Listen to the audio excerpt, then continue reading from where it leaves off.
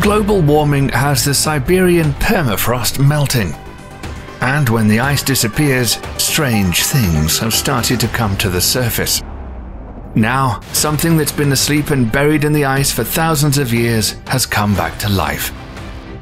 What did researchers find? And will this discovery lead to the possibility of humans being frozen and brought back to life thousands of years later?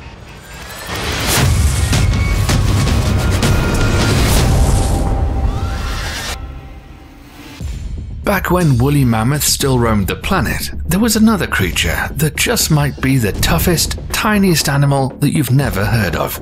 Say hello to Bdelloid rotifers. It's a microscopic, multicellular creature that has a complex anatomy, is one of the planet's most radiation resistant animals, can survive starvation, low oxygen, years of dehydration, and it can live in extremely acidic environments. So, why haven't you heard about it until now? It might be because this creature has been previously unknown and frozen in Siberian permafrost for 24,000 years, and it's still alive. Not only that, but after being thawed, the tiny creature went on about its business, eating and reproducing like nothing ever happened. So, how is this possible? Well, scientists still don't understand how this tiny animal is able to shield its cells and organs from catastrophic conditions like being frozen and its ability to patch up broken DNA, but they're trying to find out. But this is not the only time something ancient frozen in the ice has come back to life.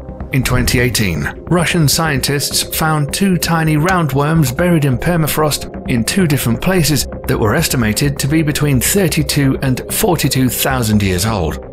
Once the temperature was warm enough, the worms sprang back to life and started moving around and eating. If really true, it means these are the two oldest known living creatures on the planet.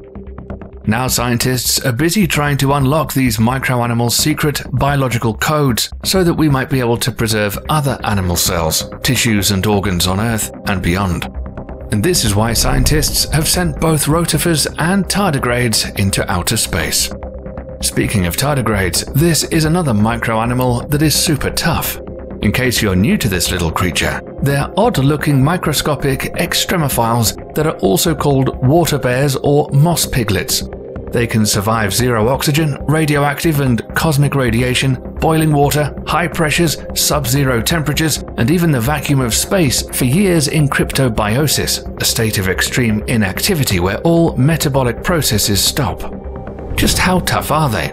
Frozen moss was collected in Antarctica back in 1983, and tardigrades were found in the moss, removed and stored at minus 20 degrees Celsius. But in May 2014, Japanese scientists thawed out one of these tardigrades. Two weeks went by, and the animal started to move, eat, and it laid 19 eggs, of which 14 healthy water bears hatched without any problems or defects. We're talking about a creature that has been frozen for over 30 years in ice, now that's incredible. But this isn't the only time scientists have revived something that's been frozen and sleeping for thousands of years in ice. In 2014, scientists discovered an ancient virus that was taken from a layer of permafrost 30 meters deep and had been laying dormant for more than 30,000 years. But the big surprise was when French scientists thawed the virus and it started moving, and this virus is big enough that you can see it under a microscope, unlike other viruses. Not only that, but it was still infectious. But hold on, there's nothing to worry about. This giant virus can't hurt humans or other animals, but it did attack and wipe out some single celled amoebas. Of course, just because this ancient virus isn't deadly, that doesn't mean there isn't something still hidden under the frozen tundra that could be unfrozen and infect humans and some scientists believe it's only a matter of time until the melting Siberian permafrost unleashes an ancient deadly virus or plague. And it's not just ancient tiny microscopic creatures that can survive extreme cold. There are other more modern day animals that can handle subarctic temperatures, like the wood frog, that can survive cold weather by freezing up to 70% of its body, including its brain and eyes, and the frog's heart and breathing completely stops. But when spring comes around, the animal unfreezes and its body returns to normal. How does it do this? Turns out that wood frogs have germinating proteins that drain most of the water out of their cells, and the liver produces glucose, like a sugary syrup. that fills the cells and acts like an antifreeze. You see, that's why humans and most other creatures can't survive the freezing cold. The expansion of water inside the cells of an animal as the water freezes causes the cells to expand and rupture. Now, we know that humans can't survive extreme cold without some serious heavy winter clothing. But would it be possible in future to freeze a human being and then maybe 100 or even 1000 years later reanimate them and bring them back to a normal state? We've all seen the stuff in science fiction movies where a person is cryogenically frozen for a long ride in space, and at least in science fiction, this cryosleep also stops the aging process. But how much of this stuff is really possible? There are companies that are in the business of freezing your body or cryogenically preserve it in the event you perish from some incurable disease. The idea is to freeze a person's body and then, when medical technology becomes more advanced, reanimate the person and cure the disease. Alcor is located in Scottsdale, Arizona, and so far they have over 180 people cryogenically frozen until medical science becomes so advanced that doctors may be able to revive and cure them. But there are two more places where you can be frozen with enough cash in hand. The Cryonics Institute in Michigan, USA, and Russia's KrioRus, where the frozen bodies of at least 50 people are cryogenically frozen. The oldest of these frozen humans is a 73 year old psychologist named James Bedford that's been frozen for over 50 years now. He's famous for being the first person to have their body legally cryopreserved after he passed away from kidney cancer in 1967. In 1991, Alcor decided to rehouse Bedford and check on his condition.